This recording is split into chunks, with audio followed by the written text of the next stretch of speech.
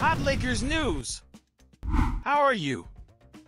This is your favorite meeting place when it comes to the orange ball and, of course, everything that happens with our team of heart, the Los Angeles Lakers.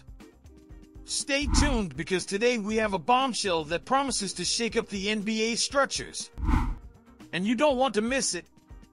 And, hey, tell us where in the world you're following us from. We'd love to know.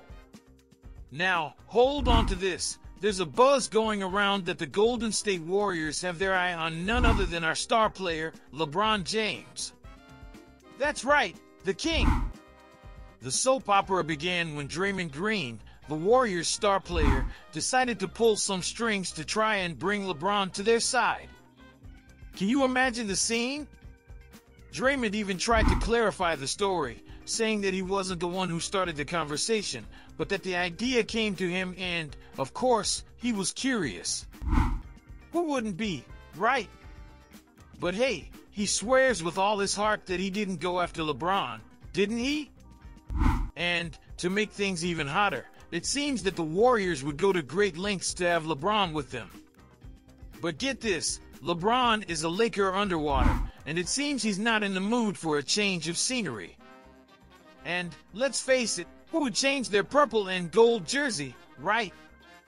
Speaking of numbers, our LeBron is flying low this season, with averages that make anyone's jaw drop. And even at 39, he's showing that age is just a number. Now, can you imagine what a revolution Draymond Green would be wearing the Lakers jersey? The guy is a monster on defense and has a vision to envy. He would undoubtedly give our team an extra boost. But, of course, all this movement leaves us wondering, what would this mix be like? Would Green adapt to the Lakers' style of play, led by LeBron and Anthony Davis?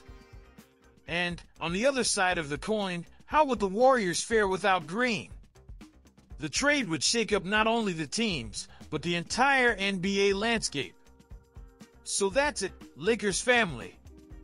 A story that sounds more like a movie script, but which is messing with the heads of everyone who loves basketball. So, what do you think? Would Draymond Green fit in well with the Lakers? I want to see what you think in the comments. Let's debate. Thanks for sticking with me this far. If you enjoyed the chat, you already know, subscribe, turn on notifications, and spread the word. Until next time, let's go Lakers!